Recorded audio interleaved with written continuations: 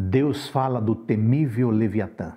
Pela descrição feita, estamos diante de uma criatura assustadoramente forte, perigosa e impressionante. Deus não quer dar uma lição de zoologia. Tudo isso é um modo de dizer: eu estou no controle de tudo, das coisas mais simples e das coisas mais extraordinárias. Nada escapa ao meu controle, nada é inexplicável para mim.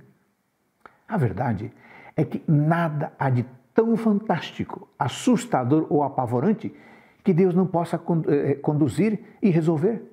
E se Deus pode controlar todas as coisas, então paremos de querer ser professores dele, dizendo-lhe o que fazer, como fazer.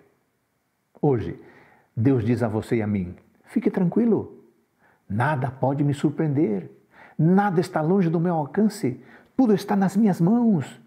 Durma em paz Descanse tranquilo, diz Deus, pois eu sou a majestade do universo. Que Pai extraordinário! É o seu Pai. Que Ele abençoe você no dia de hoje.